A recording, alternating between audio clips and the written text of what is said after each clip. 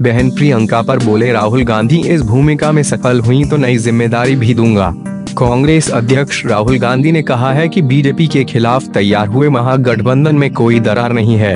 उन्होंने कहा कि विपक्ष एकजुट है, जबकि बीजेपी के वरिष्ठ नेताओं का कई मुद्दों पर पीएम मोदी से मतभेद है। अंग्रेज़ी अखबार हिंदुस्तान टाइम्स से खास बातचीत में राहुल गांधी ने अपनी बहन प्रियंका गांधी वाड्रा को महासचिव बनाए जाने पर भी बात की। राहुल गांधी ने कहा कि महासचिव के तौर पर प्रियंका की भूमिका सिर्फ़ यूपी तक सीमित नहीं रहेगी, वे राष्ट्रीय राजनीति में भी महत्वपूर्ण भूमिका निभाएँगी। राहुल ने कहा, वे महासचिव हैं तो ज़ाहिर है उनकी भूमिका राष्ट्रीय होगी।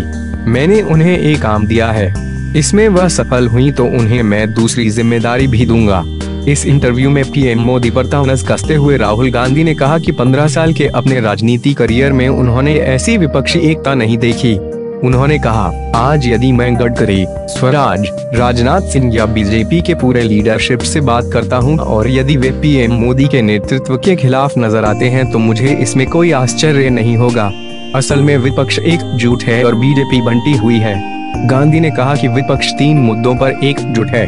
पहला, बेरोजगारी, दूसरा, किसानों की समस्याएँ और तीसरा है, मोदी और आरएसएस को देश की संस्थाओं को बर्बाद करने से रोकना।